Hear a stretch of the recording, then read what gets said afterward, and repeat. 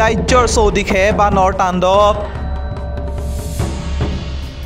পঁচান্নব্বৈ নং ডিমৌ বিধানসভা সমষ্টিৰ ডিমৌ ৰাজচক্ৰৰ অন্তৰ্গত বহু অঞ্চল বানপানীয়ে বুঢ়াই পেলাইছে।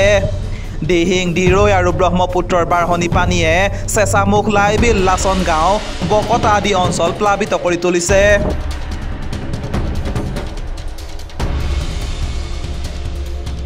বন্যাৰ্তৰ নিজৰ লগতে পশুধনৰ বাবে হাহাকাৰ অৱস্থাৰ সৃষ্টি হৈছে। আজি যোৰহাট লোকসভা সমষ্টিৰ সাংসদ গৌৰৱ গগৈ অসম বিধানসভাৰ বিৰোধী দলপতি দেৱব্ৰত শইকীয়া অসম প্ৰদেশ কংগ্ৰেছ সমিতিৰ সম্পাদক অজয় কুমাৰ গগৈকে ধৰি বহুকেইজন কংগ্ৰেছ বিষয়ববীয়াই ডিমৌ সমষ্টিৰ বানাক্ৰান্ত অঞ্চলসমূহ পৰিদৰ্শন কৰি ৰাইজৰ দুখ দুৰ্দশাৰ বুজ লয়। আজি ডিমৌৰ চৰল পথাৰত সাংসদ গৌৰৱ গগৈ বিৰোধী দলপতি দেৱব্ৰত শইকীয়াৰ লগতে অসম প্ৰদেশ কংগ্ৰেছৰ সম্পাদক অজয় গগৈয়ে টুলুঙা নাও আৰু কলগছৰ ভূৰত উঠি ডিমৌ বকতা অঞ্চলৰ চৰল পথাৰত বানাক্ৰান্ত ৰাইজৰ অৱস্থাৰ বুজ লয়।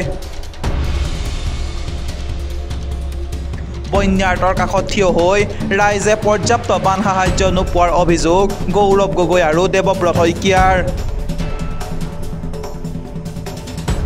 অতি শীঘ্ৰে বন্যাৰ্তক উপযুক্ত সাহায্য প্ৰদান কৰিবলৈ চৰকাৰলৈ আহ্বান। গৌৰৱ গগৈ আৰু দেৱব্ৰত শইকীয়াৰ।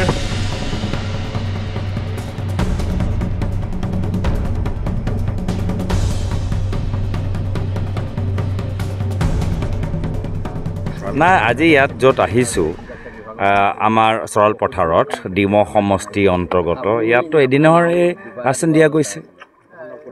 তো চৰকাৰে ক'ৰবাত ৰাচন তিনিদিনৰ দিছে ক'ৰবাত এদিনৰ দিছে ক'ৰবাত চাবোন দিছে ক'ৰবাত দিয়া নাই ক'ৰবাত শিবিৰ পাতিছে ক'ৰবাত শিবিৰ পাতা নাই। মানে চৰকাৰৰ ফালৰ পৰা যি ধৰণৰ তৎপৰতা থাকিব লাগে যি ধৰণৰ তৈয়াৰী থাকিব লাগে ইমান দিন হৈ গ'ল এতিয়ালৈকে আমি দেখা পোৱা নাই। প্ৰথম দুই তিনিদিনৰ ভিতৰত চৰকাৰৰ ফালৰ পৰা অলপ হেমাহি হ'ব পাৰে আমি আশা কৰোঁ স্বাভাৱিক এইটো। কিন্তু এতিয়াতো প্ৰায় দহদিন হৈ গ'ল। তথাপিও যে ক'ৰবাত ক'ৰবাত পাইছে ক'ৰবাত ক'ৰবাত পোৱা নাই মানুহৰ আজি কিমান বিপদত আছে। তো এইখন চৰকাৰ কিয় গুৰুত্ব সহকাৰে লোৱা নাই মই বুজি পোৱা নাই। আৰু দুখৰ কথা যে এনেকুৱা এটা সময়ত আমাৰ কেন্দ্ৰীয় গৃহমন্ত্ৰী বিভিন্ন ধৰণৰ যুক্তিহীন কথাবোৰ কৈ আছে। যোৱাকালি এটা টুইটৰ যোগেদি ক'লে যে অসমত বানপানীৰ দৰে এটা পৰিস্থিতি হৈ আছে। এইটো বানপানীৰ দৰে পৰিস্থিতি নেকি? প্ৰায় পঞ্চাছগৰাকী মানুহৰ মৃত্যু হ'ল। কিমান মানে মানুহৰ এতিয়া ঘৰত পানী সোমাই গৈছে মানুহৰ কিমান ক্ষতি হ'ল। এবাৰ তেওঁ নিজে আহি চাই যাওক। মই সেইটোৱে কেন্দ্ৰীয় গৃহমন্ত্ৰী অমিত শ্বাহ ডাঙৰীয়ালৈ অনুৰোধ জনাইছোঁ। এবাৰ অসমত আহি এই পৰিস্থিতিটো চাই যাওক। অসমৰ বানপানী তেওঁলোকে চোৱা নাই আৰু সেইকাৰণে তেওঁলোকে দিল্লীত বহি বিভিন্ন তৰ্কহীন যুক্তিহীন কথাবোৰ কৈ আছে। যি কথাবোৰ তেওঁৰ মানে মানে অসমৰ প্ৰতি কিমান তেওঁৰ চিন্তা কৰে তাৰলৈ আমাৰ সকলোৰে মনত এটা প্ৰশ্ন উত্থাপন হৈছে। তো আমাৰ সেইটোৱে আমি অনুৰোধ জনাইছোঁ। আৰু আমি আশা কৰোঁ যে বৰ্তমান সময়ত ৰাইজে যিদৰে তেওঁলোকে সাহাৰ্য পাব লাগে চবতে তেওঁলোকে সাহাৰ্য যে পায় বহুত ক্ষেত্ৰত মানুহে পোৱা নাই। ৰাইজে এনেকুৱা বিপদৰ সময়ত চৰকাৰৰ ফালৰ পৰা তেওঁলোকে এশ শতাংশ তেওঁলোকৰ সহায় পাব লাগে। চাওক ইয়াতে মই দেখিছোঁ বিভিন্ন জিলাত চৰকাৰে যদিও N D R F S D R এফৰ মেনুৱেল আছে। মেনুৱেলখন প্ৰতিজন চক্ৰ বিষয়ালৈ পঠাইছে ডাইষ্টাৰ মেনেজমেণ্টৰ ফালৰ পৰা। আৰু তাত কি কি পাব লাগে লিখা আছে। তাৰ স্বত্বেও মই কালি শিৱসাগৰ আজি শিৱসাগৰ জিলাত আমি চাই আছোঁ। যোৱাকালি চৰাইদেউ মহকুমা আমি চৰাইদেউ জিলালৈ গৈছিলোঁ। তাত দেখিছোঁ গা ধোৱা চাবোনৰ পৰা আৰম্ভ কৰি খোৱা তেললৈকে দিছে। ইয়াত এতিয়া বিভিন্ন অঞ্চলত সুধিছোঁ কৈছে অকল চাউল দাইল দিছে তেল দিয়া নাই। সেই গতিকে এনেকুৱা বৈষম্যমূলক আচৰণ কিয় কৰিছে চৰকাৰখনে এইটো কথা মই নাজানো। আমাৰ অসমৰ জনগণক যিখিনি পাবলগীয়া প্ৰাপ্যখিনি দিয়ক। কেন্দ্ৰ চৰকাৰৰ এটা গাইডলাইন আছে N D R F S D এফৰ তাত কিমান পাৰ্চেণ্টেজ আমি পাব লাগে? এ, সেইবিলাক আছে। সেইবিলাক অনুসৰি আমাৰ পুঁজি মুকলি কৰা নাই। সেই পুঁজি মুকলি কৰিব লাগে আৰু বিশেষ যেতিয়া স্পেচিয়েল কেটেগৰী আছিলে ডক্টৰ মনমোহন সিং আছিলে আমাক বিভিন্ন সময়ত পা পইচা দিছিলে।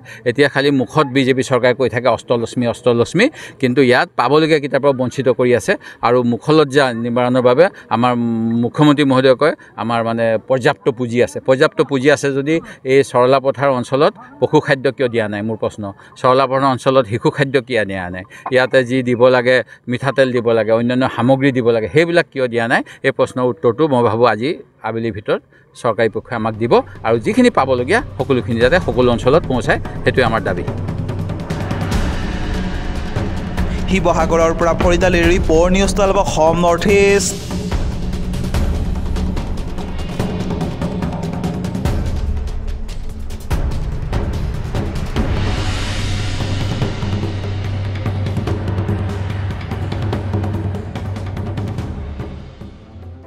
news twelve Assam north east.